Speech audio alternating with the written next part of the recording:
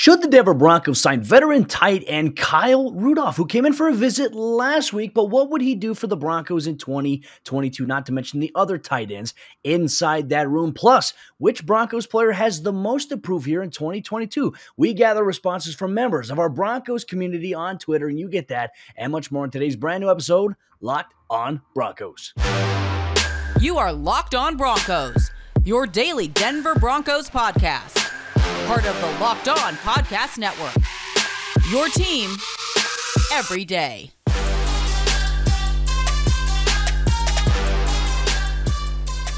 What's up, Broncos country? Welcome back into a brand new episode, Locked On Broncos, your daily Denver Broncos podcast here on the Locked On NFL Network, your team every day from the South Stands to the end zone. I'm your host, as always, Cody Roark, joined alongside by my co-host, Sayre Bedinger. Both of us, we cover the Denver Broncos for the Locked On Network and 9 News Broncos country. Thank you so much for making Locked On Broncos your first listen of the day every single day on your favorite audio podcasting platform or here on YouTube. Make sure you hit that subscribe button, turn on notifications so you never miss out on a day's worth of Denver Broncos news, content, and coverage. Sayre, my friend, hey, we're getting one step closer to this Broncos season from getting here. Offseason programming stuff begins here this week. We know that today the Broncos will officially begin their offseason conditioning, and with that, there will be a multitude of other storylines, my friend. But hey, an interesting one too. The Broncos could add a veteran tight end to the mix here alongside Albert Okwuegbunam and Eric Tomlinson. Yeah, they could. You know, I was texting you earlier in the day here and just saying, man, I wish the Broncos would sign Kyle Rudolph so we could talk about,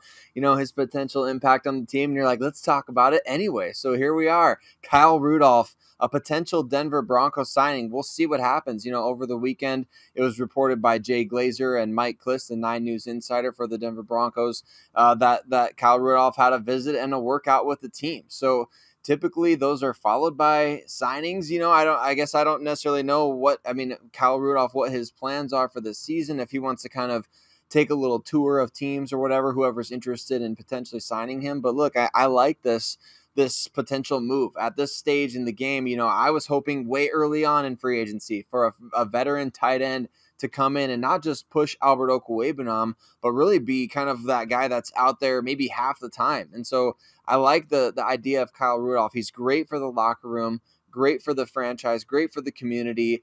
Uh, and George Paton, obviously very familiar with him from their time together in Minneapolis. I mean, that was the part I was going to mention, right? Like the ties that bind. Like it's a business about who you know. And I know for Kyle Rudolph, too, after he departed the Minnesota Vikings, I know he had a little bit of a rocky start to his time with the New York Giants last season. I know that there was the whole uh, physical test. I know he had suffered a foot injury, but I don't know what they did. They did something with his contract to make it to where he could play and ended up being one of those rotational guys for them last season. But I think that would be valuable, maybe adding a guy like Kyle Rudolph to this mix. Now, he's not going to be the Kyle Rudolph of old that was going up and elevating elevating over dudes and being a big time pass catching red zone threat.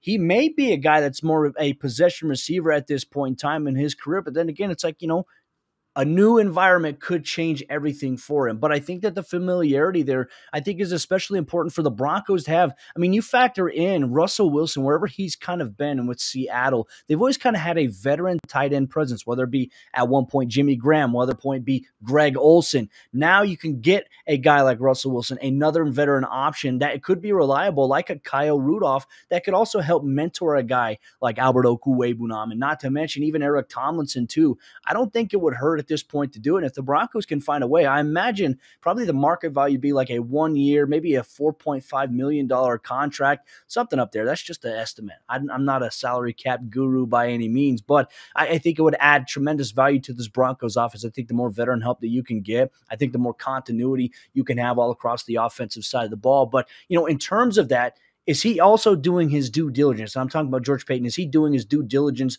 by looking at veteran options? Because I look at Kyle Rudolph here, and Sayre, part of me is intrigued by bringing in a an older veteran option here because it reminds me what the Broncos did with one former Denver Bronco great who we all know and love, very under the radar, and that was Owen Daniels. I feel like this might have a similar vibe to it if, in fact, the Broncos and Rudolph can come to terms on a contract.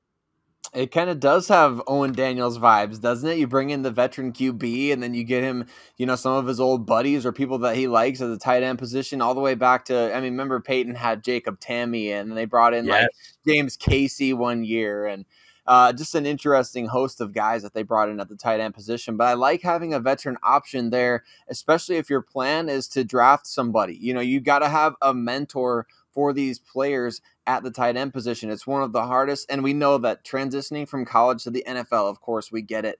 Every position is tough to transition, but tight end is, I mean, pretty historically very, very difficult for these young players to come from college to the pros. So if you're planning on bringing somebody in like in our mock draft that you can go back and watch and listen to Jelani Woods out of Virginia, somebody who was previously a quarterback.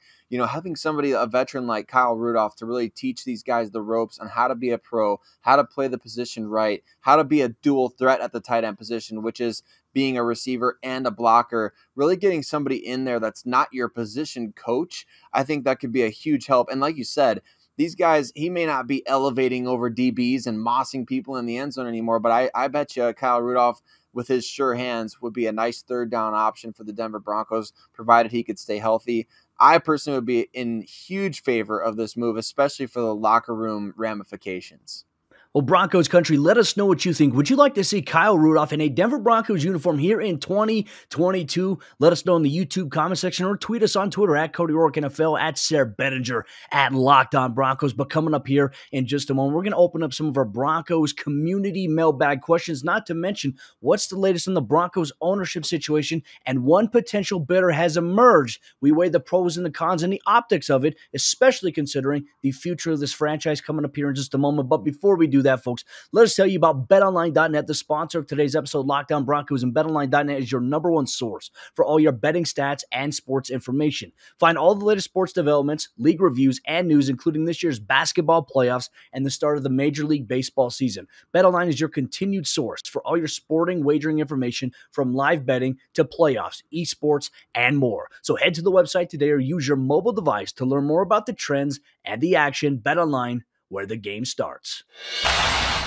And as we jump into the second half action on today's episode, Locked On Broncos, once again, Broncos country, thank you so much for making Locked On Broncos your first listen of the day for daily Denver Broncos news, content, and coverage. We appreciate all the interaction that we get, and it gives you a chance as a Broncos fan to share your thoughts as well here on the forum that we have created with Locked On Broncos. Sayre, my friend, let's get into some of our community mailbag questions. Before we get into one that kind of asked the question about which Broncos players do we feel have the most to prove here in 2022, I want to touch on something that obviously we found a little bit more information about on Friday. It was announced that the Walton family has emerged as one of the highest potential bidders for the Broncos ownership. And this is a huge deal. And if you don't know the Walton family, obviously Sam's Club, Walmart, they own every franchise. They're just a family uh, of that nature right there. And the the concerns that I have with this, Sayre, and, and look, like I said, this just could be outside opinion. This is just my perspective. I don't know if that's necessarily going to change the game for the Denver Broncos. Sure, it gives them an owner that is very cash rich, has a lot of money, but at the same time, is this person, is the Walton family going to be as invested in the Denver Broncos as Mr. Bowlen? Is this going to be something as the NFL continues to look towards having a minority owner for an NFL team? Is this help or does this hurt their initiative? And I think it hurts it in a sense, especially when there are various minority owners and potential owners that are preparing to submit bids here for ownership ownership, which the process should be finalized in about six months for the final auction, Sayre. I'm not sure how I felt about the Walton family in terms of doing this. I mean, it's obviously a lot of pockets, a lot of money. The bid estimated to be worth around a little bit more than north of $4 billion, Sayre, which, you know, to me, that's the Broncos' value. I mean, it's an extensive franchise, but I just don't know how I'd feel if the Walton family became owners of this franchise. I just, I don't think the namesake eh, is good for it, in my opinion. Right. And, and the last thing you want is exactly what you alluded to is that you don't want the Denver Broncos to just be part of somebody's portfolio. I mean, that would be extremely lame. In this whole in this whole process, the last thing that I personally would want is somebody that just wants the Broncos to be part of their business portfolio. You know, NFL teams, they don't come for sale all that often. And in recent years, we've seen like the Carolina Panthers and potentially here in the near future, maybe the Washington Commanders could come for sale as well. So I think these these these some of these bidders feel like more like vultures than they do people who actually want to own the Denver Broncos, which really bothers me. But I, I mean, like like you said, it, the highest bidder is going to get the team. So like if somebody really loves the Denver Broncos and they really really want to own the team, you're just going to have to put together a more competitive package than than the Walton family, which I mean, again, I don't know. I don't know what their intentions are. I don't know if they like. Uh, I mean, I've never heard of them being Denver Broncos fans. I, I guess I don't know, and I don't know that that's necessarily yeah. a requirement. They could become Denver Broncos fans, of course, but at the same time, it's like you really want somebody like Mr. B that that bled orange and blue, and, and I, I, don't, I just don't know. I'm very skeptical of this whole process, Cody. I haven't really heard of uh, any candidates for the ownership that I really like love at this point. sounds like the people that thought maybe Richard Smith was the best candidate, uh, the Denver native, right? So I mean, he doesn't sound very interested, which means, I mean, should we be interested in him as the owner? Then I don't know. So yeah. I have mixed feelings on That's the whole. That's a great deal. point. I mean, that's the issue too. I think, and, and I think one thing that really matters is whoever the next owner is going to be, regardless of their bid, has to be approved by 24 votes amongst other NFL league owners at this point.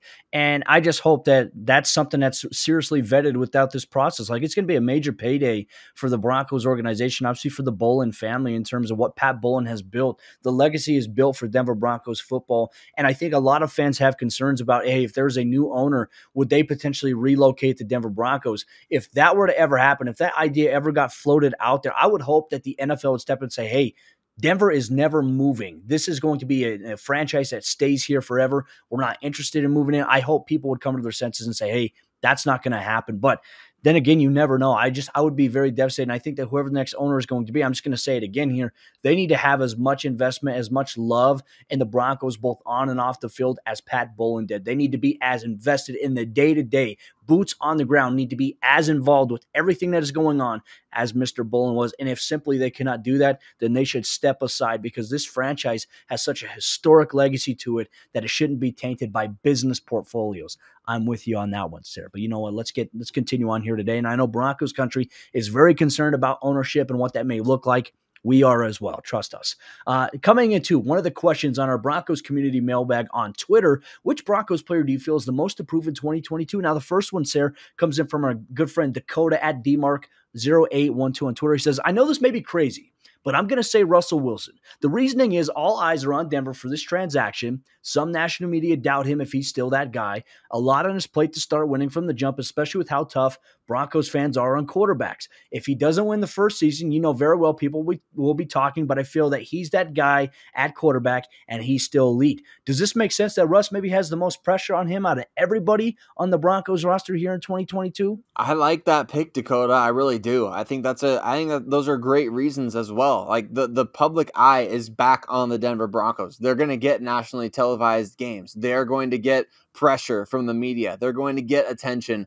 I, I, think absolutely, and and lumping into the fact that I mean there are some that doubt whether Russ is still an elite level quarterback, which I think does place a lot of pressure on him. Look, he's selling out jerseys. I mean they're out there basically anointing this guy at the Colorado Rockies season opener. You know, they I mean everybody just a standing ovation at the Denver Nuggets game. Everybody is in love with the idea of what he can bring to the table. Can you live up to those expectations? I'd say that's a lot of pressure, Cody. So I would say, I mean, I think I agree. I think that's a great pick uh, for for the player that has the most pressure and most approved in 2022. I'd say Russell Wilson is right up there, and one of his pass catchers might be up there as well.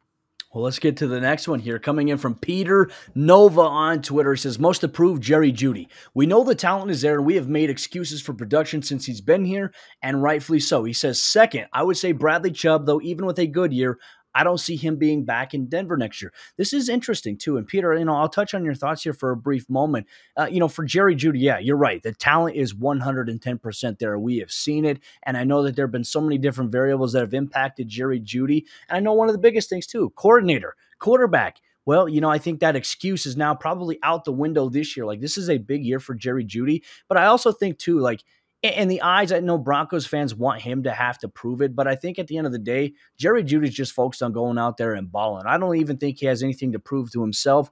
I just think that there's a lot of people with eyes on him. So with that normal pressure that you get, especially from social media, especially from everything that you do, will be under a microscope, especially entering your third season in the league. I do think that is definitely a good selection to put Jerry Jeudy here. Um, I think it's very interesting. I think a majority of Broncos fans would say that there are several other ones that did that. And Sayre, I'll touch on what uh, Colton, what Sly Daddy had said at Colton M87233550. It's a long Twitter handle, Colton, but I appreciate you always mm-hmm. interacting with our show here. He says it's got to be Jeudy, right? Hasn't lived up to his potential. Yeah, he had an injury, but he's got to step his game up this year and show why we drafted him so high. Your thoughts here on Jerry Jeudy? You know, I think Jerry has a lot to prove this year. At the same time, you know, excuses are one thing. Sending a guy in motion on every play and not utilizing him as a route runner, which is his best attribute, is a completely other. I think that we saw that throughout the course of the year. You could make excuses for any number of players for poor performance the issue is is we're not really excusing Jerry Jeudy for poor performance. We're talking about the fact that his offensive coordinator basically, you know, sent him running ladders up and down the field all game. So, and that was consistent. When he was when he yeah. was on the field, Jerry was running in motion the majority of the time as a decoy. We talked about that on countless episodes of this show last season. So I don't think it's necessarily a, an excuse for him. I do agree, though. I think the pressure's on. It's year three, and we want to see that production. We we talked about this on another recent show. That his last touchdown was that final regular season game of his rookie season against the Raiders. That really long touchdown from Drew Lock. Uh, that should have won that game against the Raiders, but it didn't. So that eh, the pressure is on and Jerry has a lot to prove this year to prove to people hey I you know his great route running and ability to separate that can translate to elite level production. Well, our friend Marco Navarro says Calvin Anderson is getting a shot at right tackle to start this year in a contract year with two vets that were also signed on one year deals to compete with him. I say, yeah, there's probably definitely a lot of pressure here for Calvin, but I think the one thing that benefits him I say he and Billy Turner probably the most is the fact that they could each play either side, left tackle, right tackle. So I think they have both a little bit more value than maybe like a guy like Tom Compton. As you know, he can play probably on the interior, but the Broncos already have enough interior guys as is and depth pieces behind a guy like Dalton Risner, behind a guy like Quinn Meinerz or Graham Glasgow, whoever decides to get the starting job here this season. It's really the tackle position I think that you have to have the most impact versatility at. And I think that that's what Calvin provides at left tackle behind Garrett, but he could also start at right. He could also be a backup at right tackle. I mean, I think that's where Calvin maybe has a little bit of, uh, you know, benefit to this. So I wouldn't necessarily say he has a lot of pressure on him, but I do think that he's in a really good position to prove himself for the Broncos. And look, he's also one of those players that I feel like if the Broncos were to ever let go, he would pick on somewhere else like carry on there and he would play an impact role for whatever team decides to pick him up. I think that's where Calvin is there. But Broncos country, we're getting into some more of your Broncos community mailbag questions coming up here in just a moment, including whether or not the Broncos will take a running back in this year's NFL draft. You get that and much more coming up here in just a moment. But before we do that, let me tell you about Built Bar, the sponsor of today's episode, Locked On Broncos. And folks, as you know, Built Bar is the healthiest protein bar on the market. It's the tastiest protein bar that is out there on the market today. If you love protein bars that are covered in 100% milk chocolate, that are soft and are easy to chew and taste delicious. Well, Built Bar is exactly the protein bar you need to add into your arsenal here today. And Built Bar contains nine amazing original flavors, including salted caramel, double chocolate, peanut butter brownie, and more. Plus, the occasional limited time flavors like the Built Plus. Check out the wide variety of flavors that they offer at built.com. And if you need a little bit extra fuel to get yourself through your day each and every day, plus you love the little bit of a divergence between something that's healthy for you and a treat, well, Built Bars contain 17 grams of protein, 130 calories, and only 4 grams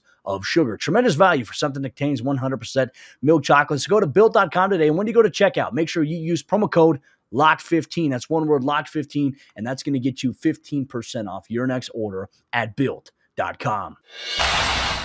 As we jump into the fourth quarter action on today's episode, Locked On Broncos, once again, Broncos country, thank you so much for joining us here today for a brand new episode of the show, free and available everywhere you get your podcast and audio format here on YouTube. Make sure you're subscribed, you hit that notifications button so you never miss out on an episode. If you love this episode so far, please do us a favor, smash that like button for the algorithm, comment, share your thoughts on this episode on YouTube as well. Locked On Broncos, we continue to grow for everybody here in Broncos country. Continuing on with our Broncos community mailbag. Sayre, we got a really good question from Darius Wilkins, and he says, Will George Paton target another running back in the NFL draft this year? Do you see that happening? If so, when? I think this is a great question.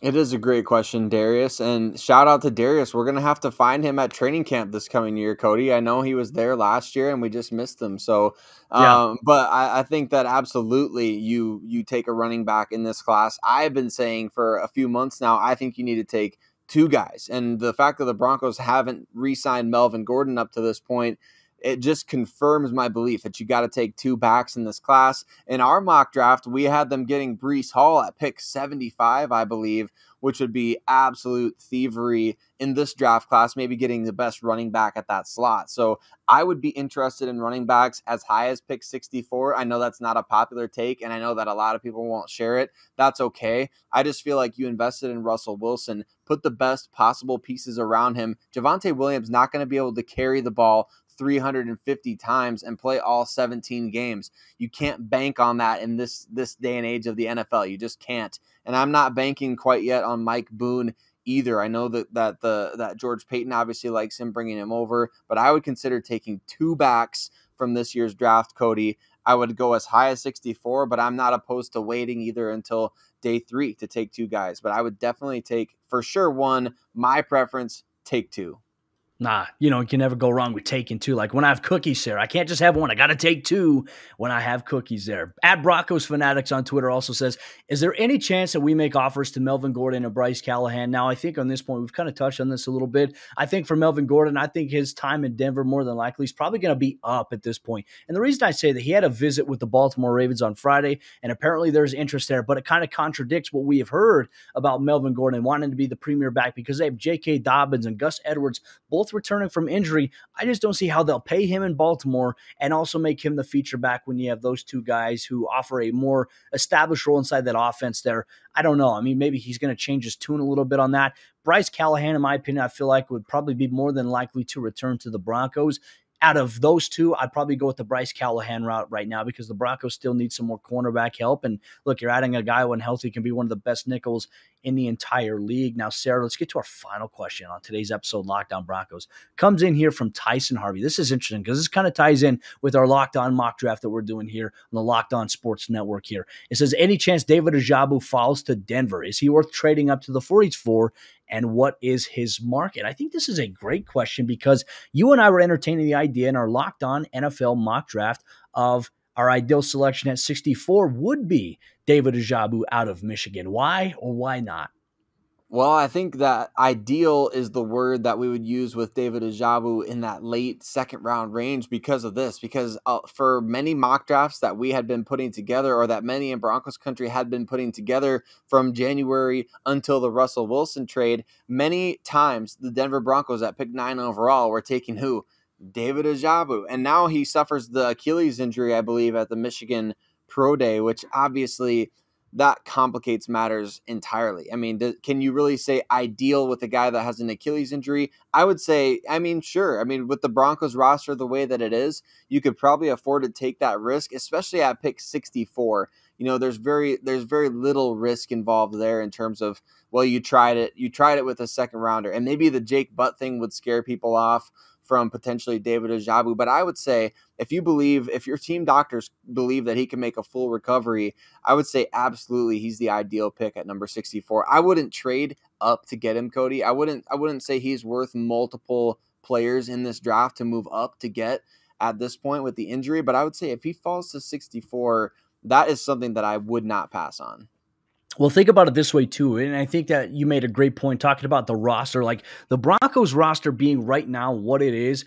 I think if you're George Paton, you could take the risk on maybe drafting a guy like him if he is available. Like you mentioned, not trading up, but at 64, taking him there. And I go back to one player too in, in recent memory here, a guy who was a first round prospect, and obviously went in round number one, but the Tennessee Titans really took a chance on Jeffrey Simmons, who tore his ACL, wasn't even going to play his rookie season. Not to mention Jeffrey Simmons had some off the field stuff too that people were concerned about, but he still went round one. David Ojabo has so much talent, so much potential, and had a very explosive season this past year for Michigan. Michigan opposite of Aidan Hutchinson, who's probably going to be the first overall player taken off the board in this year's NFL draft in Las Vegas in just several weeks away. But I think for the Broncos, if Ojabo is there, it doesn't hurt, I think, to take him because what you're getting is a guy that, you know, when he's healthy, can be one of the most explosive players on the football field. And it also addresses a position of need for the Broncos. And I think that with the roster the way it is right now, you don't have to have him this upcoming season, but he can work throughout the season, get in the building, be acclimated with the process,